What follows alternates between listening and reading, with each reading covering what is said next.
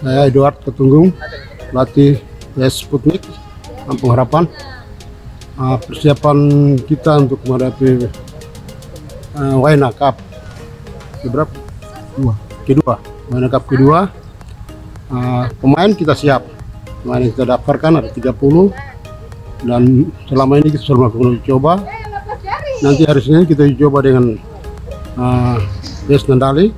Hari Rabu kita coba terakhir dengan uh. Eh, Telengen. Apa Telengen? Apa? Pasenggen.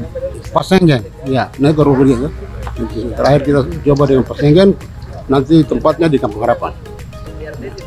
Untuk uh, pemain uh, lebih banyak kita mainkan pemain ada pemain senior dibantu dengan pemain-pemain yang junior. Ya, kami siap sukseskan turnamen Wayana Cup. Ya kalau uh, target minimal kita bisa masuk ke lolos ke putaran berikut. Oke.